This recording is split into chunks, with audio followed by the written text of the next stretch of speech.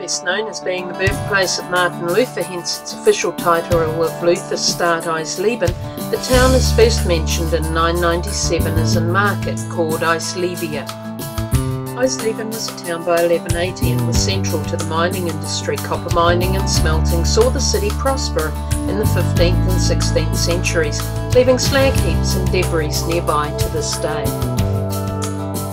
On June 6, 1927, American aviator Clarence D. Chamberlin landed outside the town in a wheat field, completing the first transatlantic passenger flight.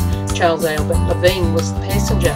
They broke Charles Lindbergh's distance record that he had set only two weeks before when he landed in Paris, France.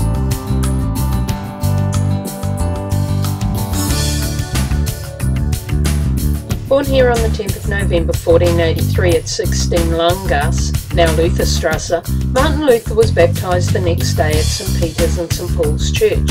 His father Hans Luther was a miner like many of Eisleben's citizens. Luther's family moved to Mansfeld when he was only a year old and he lived in Wittenberg most of his life.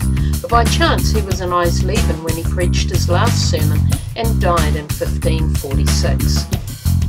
Luther visited in 1546, he was already ill. He had been asked to help resolve disputes among the Count's family over inheritance rights. Luther took lodgings in the house of his friend Dr. Drachstedt. He preached four times, but during his last sermon on February 14, he was not capable of completing it. He died peacefully in his sleep on February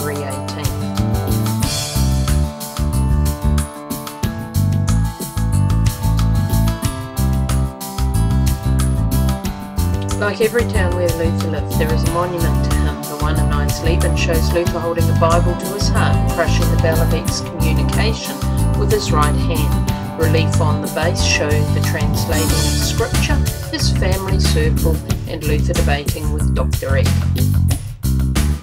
Eisleben was a pioneer of heritage tourism. It took steps to preserve its Luther memorials as far back as 1689.